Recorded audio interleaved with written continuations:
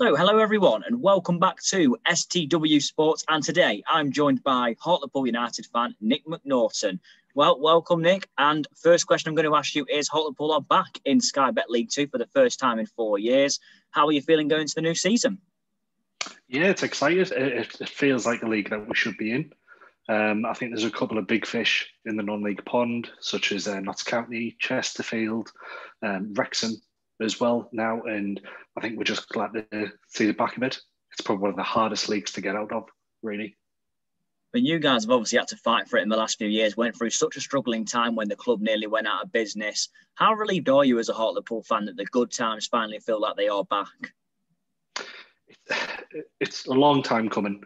Yeah, um, we always thought that. Obviously, since the playoff in two thousand four or five, we always thought that yeah, we're going to have that momentum. We'll carry it on. And yeah, we've had a, a, promotion, finished second a couple of years later, getting back to League One. But ever since then, we've always found ourselves struggling and in relegation battles. And especially with the finances a couple of years ago, um, we're just quite lucky.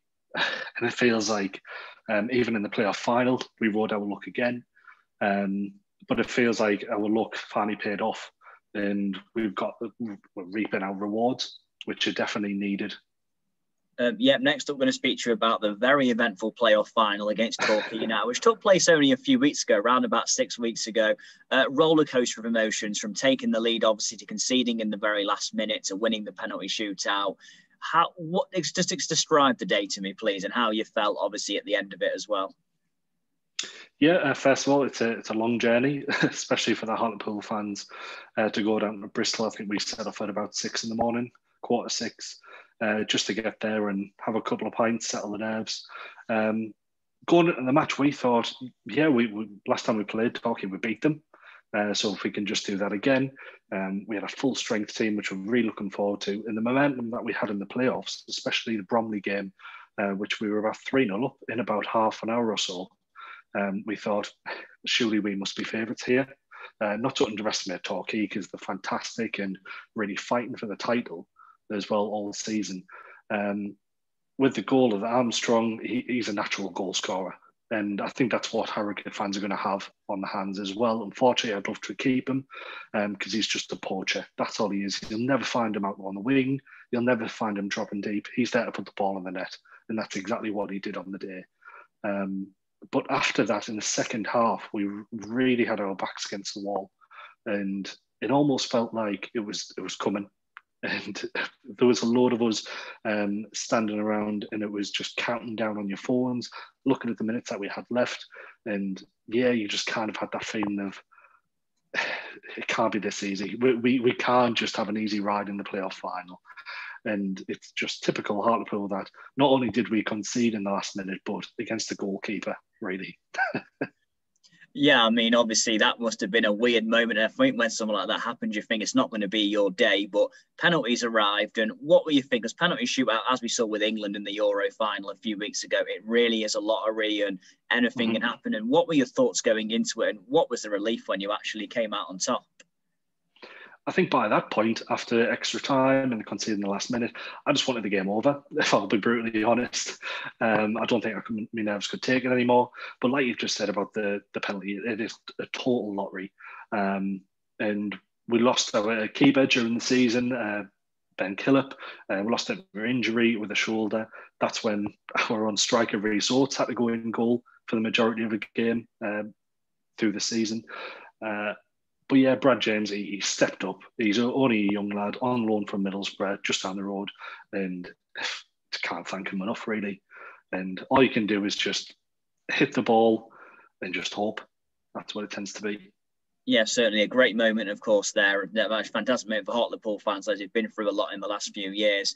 As for um, the good memories of Hartlepool, that what is your standout memory, would you say, as a fan?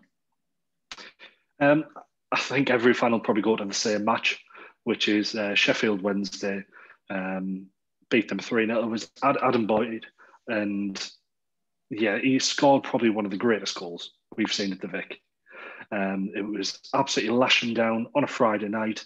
Um, I remember standing there, I think I was only about 13, 14 at the time, um, absolutely soaked through. And yeah, Adam Boyd picked up the ball from the um, his own half, dribbled a Cruyff turn, and then a little dink over the keeper. And yeah, he, there was a, a, Guardian article that compared him to Van, our own Van Basten um, at the time. And to watch Adam Boyd um, against Sheffield Wednesday is definitely something special. And I think it's a, it's a go to memory for a lot of Hartlepool fans, including myself. Yeah. Yeah, I just want to ask now about players. Maybe is there a standout play you've seen in a Hartlepool shirt over the years? Yeah, uh, there's a bit of soft spot. I've always loved uh, Joel Porter.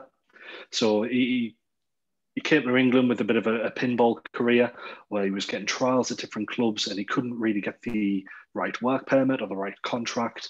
And um, he recently gave an interview on a podcast um, in which he said Hartlepool was a last, uh, last ditch attempt at a life in England.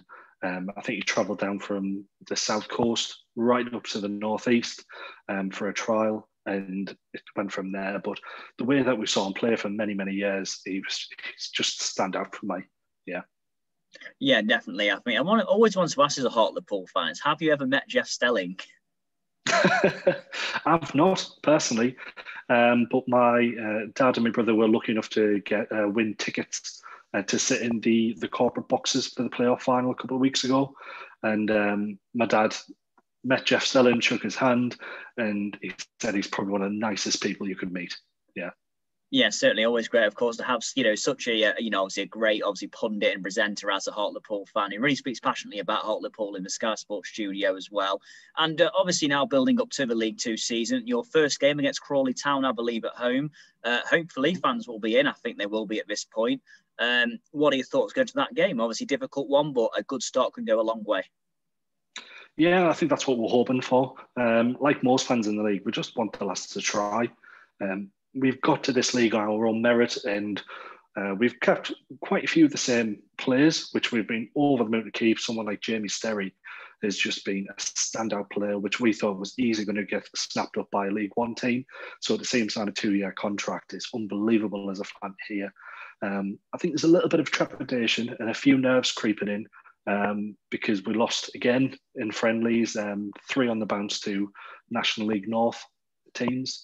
Um, I always take the, the friendlies with a, a, pinch of salt and sometimes a, um, a, truckload of salt at times as well. So it's all about the fitness. The manager's going to be trying new things. He's got trialists in.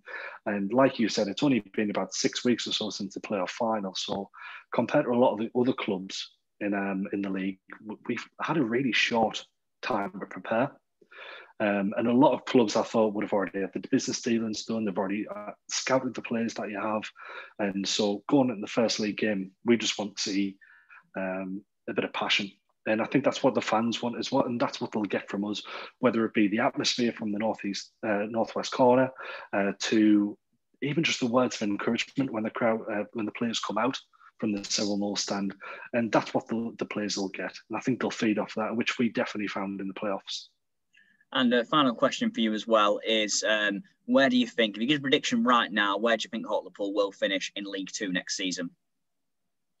Um, I'll be realistic. I'm not going to say we'll be up there again in the playoffs. um, I think, hand on heart, I'll, I'll take um, just outside the relegation zone. If you offered me now safety in League Two, I'd snap your hand off for it because we know it's a it's an unforgiving league, and the last thing we want to do is to drop back down in there. Um, and we know it comes with the financials as well. So if you can stay one more year in League Two, that's more league money coming in. Um, and once you're able to recycle that and maybe keep that momentum going, that's when you can really build a core strength to the team and maybe push on a little bit more. So we know it's baby steps. We're not going to be expecting anything more than that. Um, all we can do is just be quite thankful that we've got a, a chairman who's definitely back in, who's definitely got the right vision. Uh, a couple of years ago, he was open and said he wants to get us back into the Football League. Raj Singh, can't thank him enough. That's exactly what he's done. Um, he's been quite open and honest with the fans. Uh, that's exactly his plan. Um, all we can do is just really push on. And yeah, like I said, hopefully we'll still be in uh, this position next year. Yeah, well, that's all we've got time for anyway, Nick. Well, thank you very much for the interview and good luck to Hartlepool United going into the new season. Cheers. Thank you.